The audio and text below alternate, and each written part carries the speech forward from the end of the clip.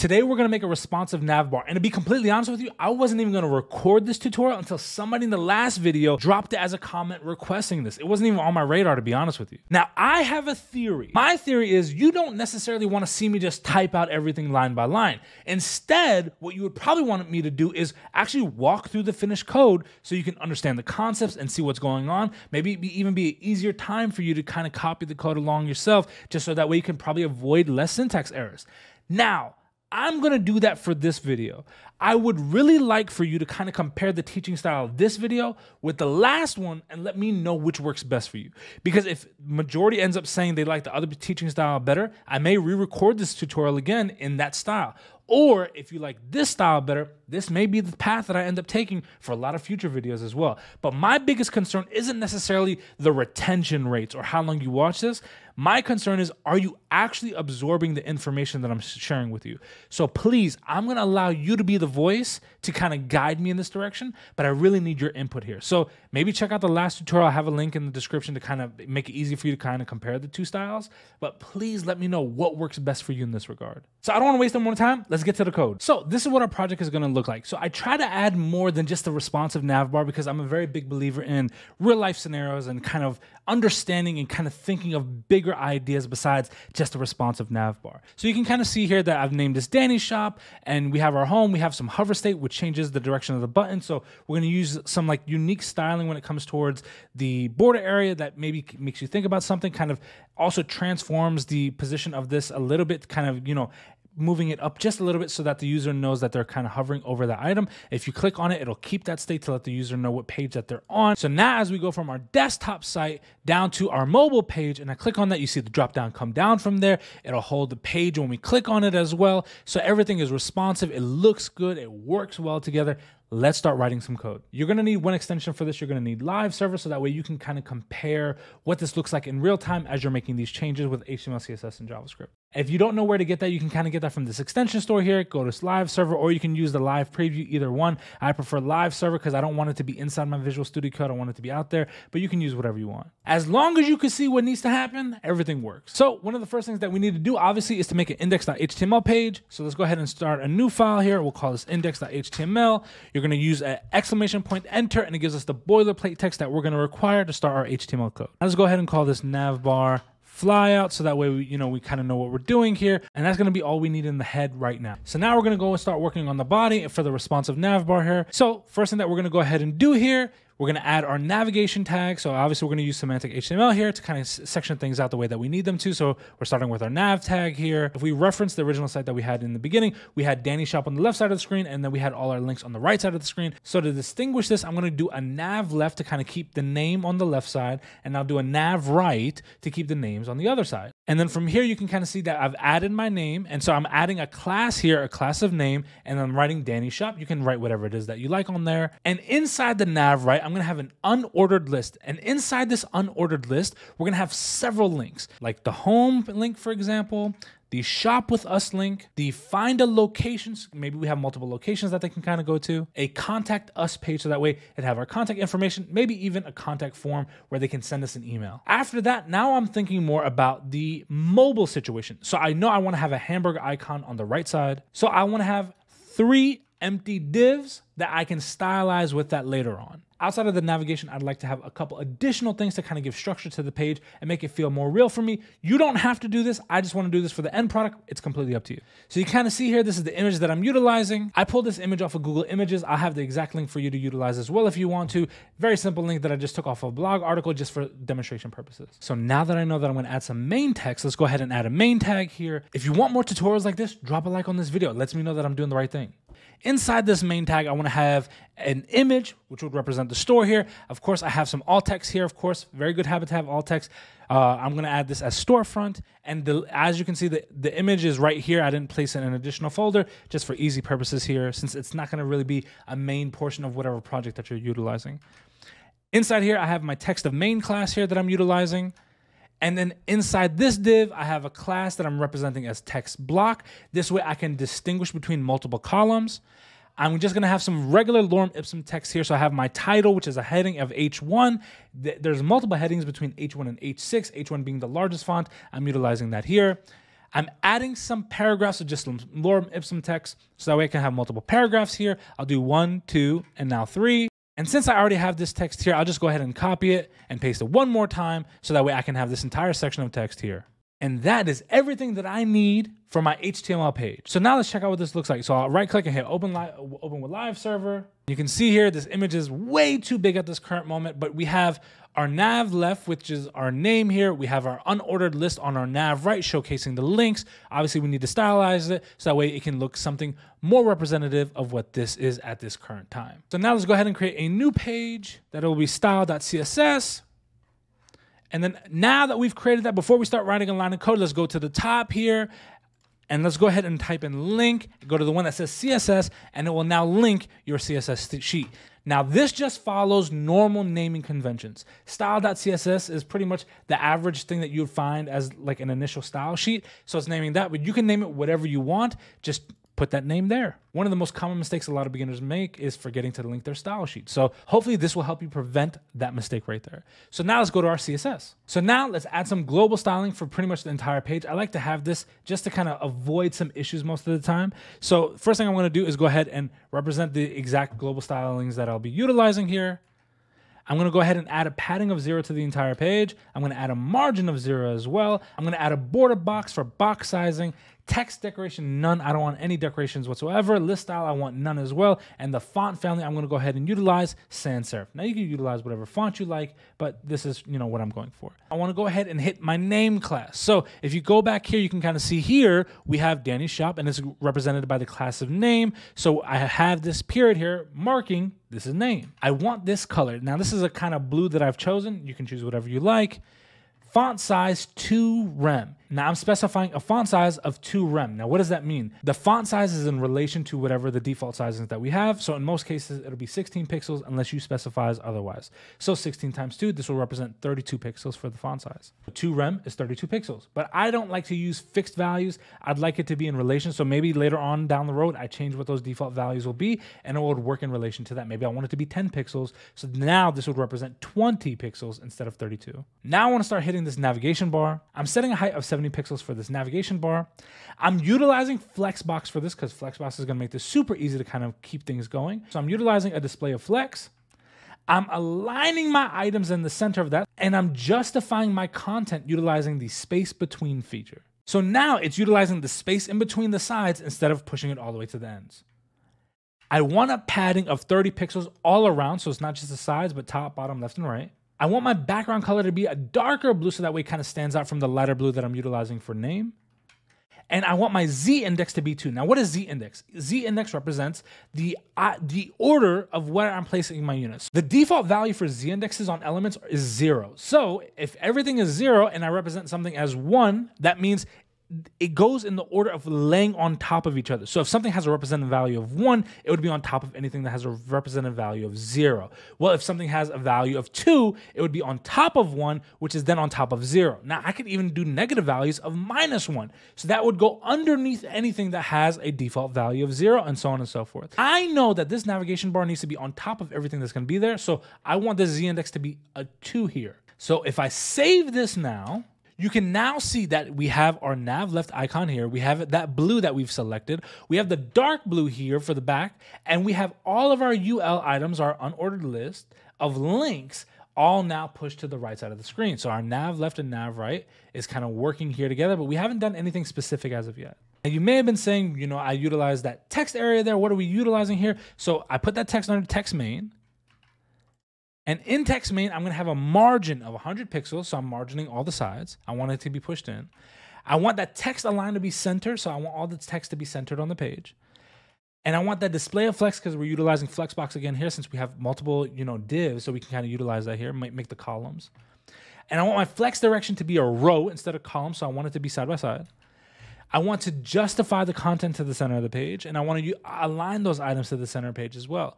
And I want to add a gap of 40 pixels. That gap will separate the two columns. So now when I save that and compare, coming back here, you can kind of see here, we now have our text here, we have our you know extra divs we have our gap of 40 in between the two and now there are two columns and so if i were to take this out and kind of compare that so you can see the difference. So this is the original form of the text, right? Versus what this alters this to now. So now we need to start hitting those links, right? So let's go ahead and do our nav links because if we come back here, you can kind of see we have our nav right, but it's unordered list of navigation links. I want to use Flexbox once again. So display flex. I want to align the items to the end of it. So I'm using my flex end. And so now I want to go ahead and start working on this image container. I want to go ahead and make sure that our image is looking great. So I'm using a background image of no repeat, a cover, and a center center to make sure that's covering the entire center section. And I'm using the URL of the image here. So now when I save that, and I come back with our height of 100 view height, meaning I want it to take up 100% of the view height that we have there, and our width of 100% of that area. I now save it and come back, and you can kind of see here that it is no longer this massive image that we didn't have anything to do with. It's now looking right. And if I go ahead and switch this now to our mobile view, we can kind of see it's still taking up the entire space the way that we kind of want it to. Perfect. Now I want to go ahead and focus on the actual links within those nav links, so the anchor tag. So I'm going to go ahead and press class of nav links. And then as I add extra items, it's saying further in, further in, right? So now I want the class of nav links. I want it to go to the list item, and then I want to hit our anchor tag. So you can kind of see here how it specifies our selector specificity.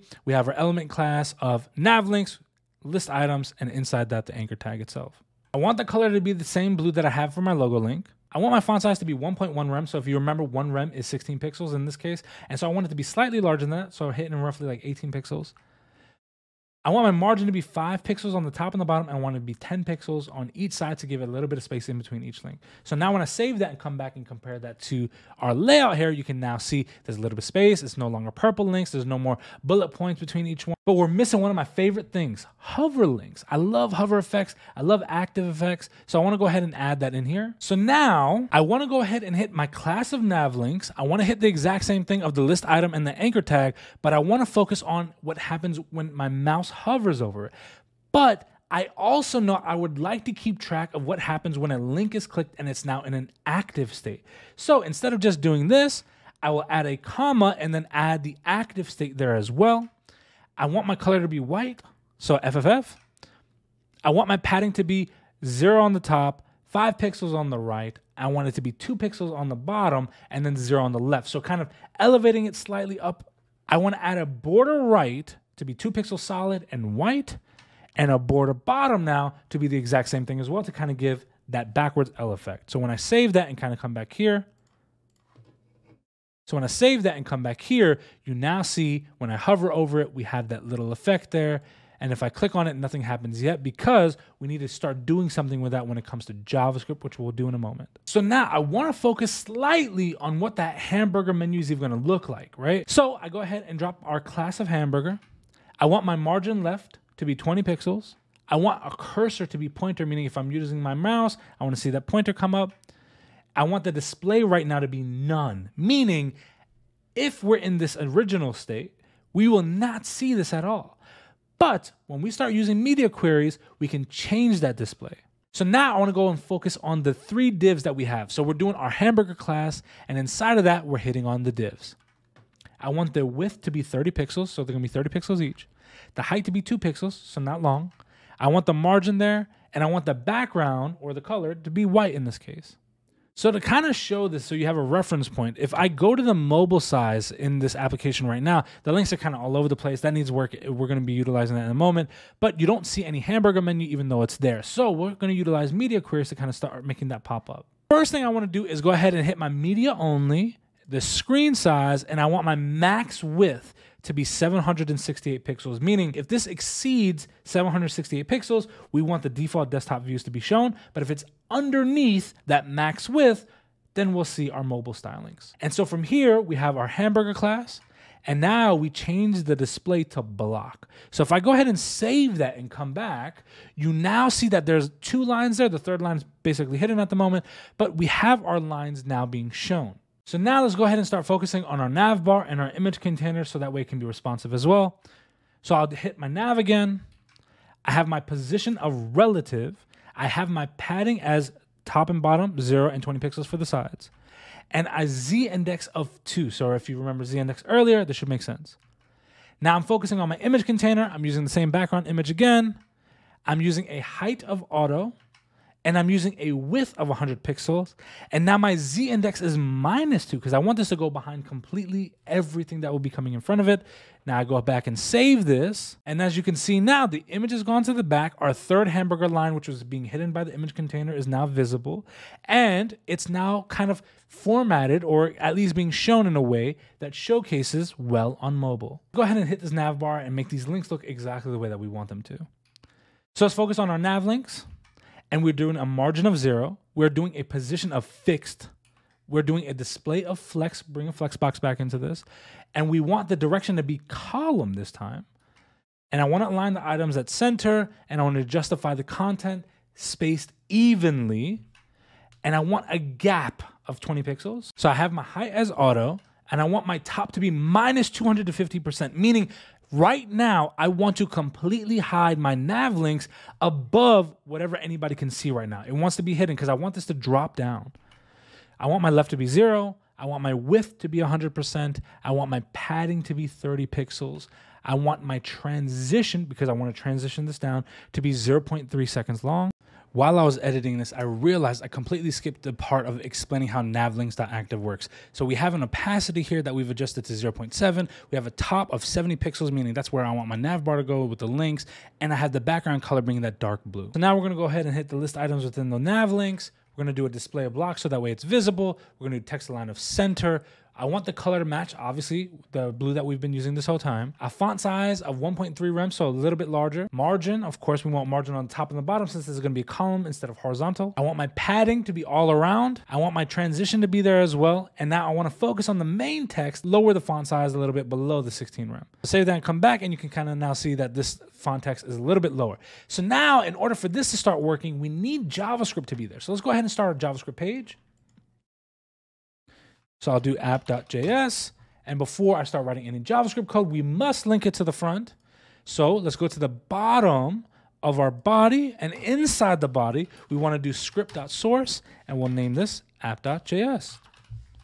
Now our JavaScript page is connected, so when we start writing JavaScript, it will work. So let's go ahead and start writing our JavaScript code here. We wanna go ahead and get our values from the front. For our hamburger, we wanna make sure that we're doing our query selector for our class of hamburger. For our nav links, we wanna go ahead and do our query selector for all the nav links. And for our navlink items, we wanna do a query selector of all for our A tags within the navlinks. And so we're gonna create an array from this. Now for our hamburger, I wanna add an event listener, and that event listener will be a click. And when a click happens, I want this arrow function to perform. And so from there, we're gonna do our navlinks. We're gonna add a class list and we're gonna toggle it of active. So when it's clicked, it is now in an active state. So now referencing this array at the top, navlink items, we're gonna do a for each instead of a for loops because we don't necessarily know how many are gonna be in there. Maybe we have four links, maybe we have five links, et cetera, et cetera, whatever it may be. But we're gonna do a for each of this and each link that gets passed through in this arrow function. I wanna go ahead and use a add event listener for each link and it's gonna be a click and there's going to be an event that takes place. And as this event is taking place, we want to go ahead and prevent the default actions and we want our actions to take place instead. And we're doing another for each with this. And we're going to remove the active status from any of those links. And now we're going to add the active status only on the link that we want. So that means if there's a previous active status on a link and we click on another one, we want to remove the previous one and we want to add the new one of where it is, wherever it is that we clicked on. So if we come back here now and we bring this back here, you can kind of see that if I click on any of them, the active status stays and the previous one is now removed. But the important one is let's check out our nav bar. So if I click on this, boom, we've got it dropping down from the top. We have the opacity, which we may want to tweak here. And we'll change this now from a 0.7 to a 0.9, let's say, and see how that looks. And that's better. So it's a little bit darker, very visible. Everything looks great there. And that is your responsive nav bar. So if I go here and click, everything is working, everything is looking good. We have our columns there. If I go back to mobile menu, we have our drop down, we have our images, we can scroll, we have the two columns there as well, and we have this drop down happening each time. Looking good. There's one extra problem that I'm noticing here, right? So as this is going up, it kind of goes over our logos and everything. It doesn't have a super clean look. We can take this a little bit of a step further and with our transition, we can actually go ahead and add in an ease in situation, right? So let's go ahead and add in an ease in real fast. Ease in and out. And so now if I do that and come back here, it's still kind of passing over that. So one thing we can do this, we can take this one step further. So since we're gonna take this one step further, let's make our own keyframe here to utilize. So what we're gonna do here, we're gonna add at keyframes and we're gonna name this slide down. We're gonna make that at 0%, meaning the initial stage of this, at 0%, we're gonna have our top at 250% negative value, meaning it's gonna be above what we can see. The opacity will be zero. That means uh, it's starting completely transparent. At the 50% mark, I want it to be at the top of zero and the opacity just slightly showing. At the 75% mark now, so now we've gone three fourths of the way. I want it to be past the 20 pixel mark up for the top. I want half opacity to be visible. And at the 100% mark, I want the top to be 70 pixels, exactly where we want it to be, and the opacity to be completely visible. And now when I save that and come back,